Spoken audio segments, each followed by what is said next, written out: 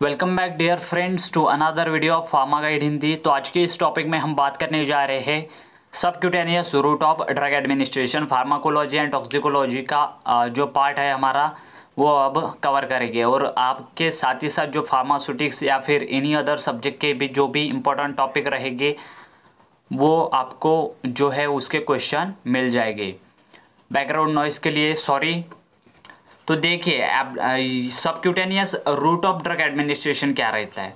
तो a subcutaneous injection is the method of administering the medication तो क्या है subcutaneous route drug of administration का एक मेथड है। तो इस मेथड के अकॉर्डिंग क्या होता है? Subcutaneous means under the skin under the skin मतलब स्किन के अंडर। जो भी स्किन में लेयर रहती है, उसके अंडर जो है, इसका एडमिनिस्ट्रेशन किया जाता है। In this type of injection इस तरीके के इंजेक्शन में a short needle is use to inject the drug into the tissue layer between the skin and muscle तो देखिए स्किन एंड मसल के बिटवीन जो है आपका इंजेक्शन ट्रांसप्लांट किया जाता है या फिर उसे इंजेक्ट किया जाता है और कैसे निडल यूज़ की जाती है? कैसे निडल यूज़ की जाती है? स्मॉल निडल शेप्ड छोटी से छोटी निडल जो है यहाँ पर यूज़ की जाती है short needle is use to inject the drug into tissue layer तो टिश्यू लेयर में या फिर फैटी लेयर में जो है इसका एडमिनिस्ट्रेशन किया जाता है। Other methods like intravenous injection can be difficult और कॉस्टली जो इंट्रावेनस रूट ऑफ़ एडमिनिस्ट्रेशन रहता है, वो देखा हमने। साथ ही साथ इंट्रामस्कुलर भी देखा। अगर कोई ड्रग सबक्यूटेनियस रूट से एडमिनिस्टर की जाती है। अगर वही ड्रग इंट्रावेनस रूट से एडमिनिस्ट्रेशन करने को हमने लगाया तो उसका कॉस्ट जो है वो बढ़ जाएगा या फिर कुछ डिफ़िकल्टी वहाँ पर फेस करनी पड़ेगी। तो देखिए subcutaneous route of drug administration subcutaneous route में जो है ड्रग का एडमिनिस्ट्रेशन कहाँ कहाँ पर किया जाता है? तो साइड और बैक ऑफ़ अपर आर्म जो भी आपके अपर आर्म रहते हैं, वहाँ पर जो है आपका एडमिनिस्ट्रेशन किया जाता है यहाँ पर और यहाँ पर। उसके बाद एब्डोमेन एब्डोमेन मतलब आपकी अ, जो भी पेट का हिस्सा रहता है वहाँ पर अम्बलिकल कॉर्ड रहती है आपकी प्रेजेंट तो वहाँ पर जो है उसका जो है थीन लेयर जो भी आपकी फैटी लेयर रहती है या फिर टिश्यू लेयर रहती है वहाँ पर एडमिनिस्ट्रेशन किया जाता है। और उसके बाद फ्रंट ऑफ़ थाई थाई के फ्रंट में भी आपका एडमिनिस्ट्रेशन किया जाता है। एब्डोमेन एट और under the level of belly button about two inches away from the navel तो देखिए, आपका जो एल्बो रहता है, वहाँ से नीचे लेकर टू इंचेस नीचे, वहाँ पर जो है इंजेक्ट किया जाता है। उसके बाद आर्म बैक और side of the upper arm back और साइड ऑफ़ अपर आर्म में भी इस्तेमाल किया जाता है। उसके बाद थाइज में देखिए फ्रंट ऑफ़ थाई थाई के फ्रंट में एब्डोमेन में कहाँ पर? जो भी आपका बेली बटन यहाँ पर रहता है मतलब आपकी अम्बलिकल कॉर्ड जहाँ से अराइज होती है इन फिटल स्टेज तो वहाँ पर एडमिनिस्ट्रेशन किया जाता है।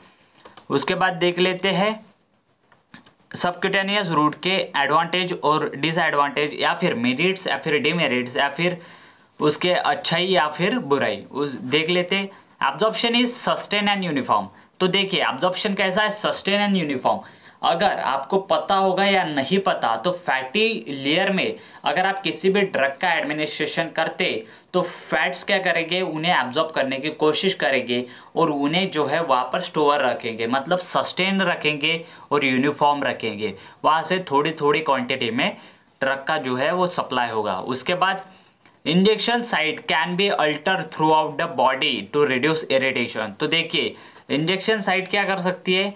अल्टर कर सकती है बॉडी बॉडी को।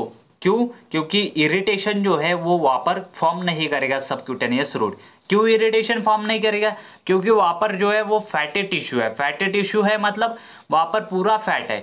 अगर वही आप अ, किसी भी सेंसिटिव ऑर्गन्स या फिर किसी भी सेंसिटिव एरिया में अगर आप इंजेक्ट करते थे तो वहाँ पर रेड इरिटेशन जो है ज़्यादा फॉर्म होता था। लेकिन आप कहाँ पर कर रहे? हैं फैटी टिश्यू में कर रहे। हैं फैटी टिश्यू लेयर में कर रहे। इसीलिए जो है एडमिनिस्ट्रेशन ऑफ़ रूट का जो है, वो आपका वहाँ पर इरिटेशन कम होगा। उसके बाद rapid perfusion rate as a capillary permeability is more below the skill sorry skin तो स्किन के नीचे जो है परमिएबिलिटी वो वहाँ पर कैपिलरी परमिएबिलिटी कैसी रहती है? ज़्यादा रहती है। उसकी वजह से रैपिड परफ्यूजन रेट भी कैसा रहेगा? ज़्यादा रहेगा। इसीलिए सबक्यूटेनियस रूट प्रिफर किया जाता है। उसके बाद self administration is possible by the injection pen syringe देखिए सेल्फ एडमिनिस्ट्रेशन इज़ पॉसिबल। मतलब खुद से ही खुद को इंजेक्शन लगाना, यह इस प्रोसेस में पॉसिबल होता है।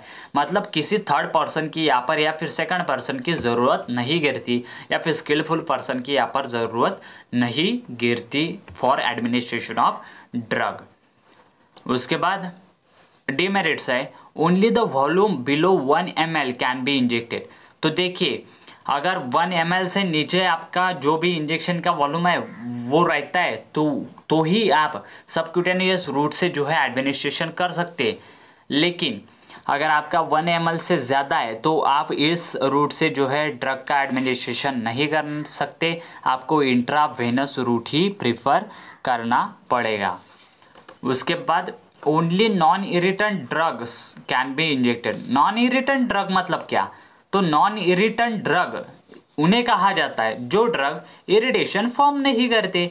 ऐसे ड्रग्स को नॉन इरिटेंट ड्रग कहा जाता है नॉन इरिटेंट ड्रग उसके बाद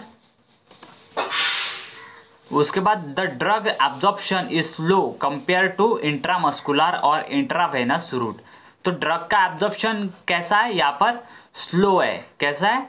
स्लो है एज कंपेयर टू इंट्रामस्कुलर और इंट्रावेनस रूट इंट्रामस्कुलर रूट या फिर इंट्रावेनस रूट के अकॉर्डिंग यहाँ पर कैसा है ड्रग का एब्जॉर्प्शन स्लो है? क्यों? क्योंकि यह काय में प्रेजेंट रहते हैं टिश्यू में। काय में प्रेजेंट रहते हैं हमारे टिश्यू में प्रेजेंट टिश्यू में क्या करते हैं हम? उसका इंजेक्ट उसे इंजेक्ट करते तो टिश्यू में इंजेक्ट करेंगे तो टिश्यू क्या करते टिश्यू उन्हें ज़्यादा क्वांटिटी में एब्जॉर्ब नहीं कर सकते। तो यह था टिश्यू का। उसके बाद देख लेते injection if not skilfully given can go into skin intradermal और in deep muscle intramuscular injection अगर स्किलफुल तरीके से जो है दिया नहीं गया तो वह आपके इंट्रामस इंट्राडर्मल रूट में चला जाएगा।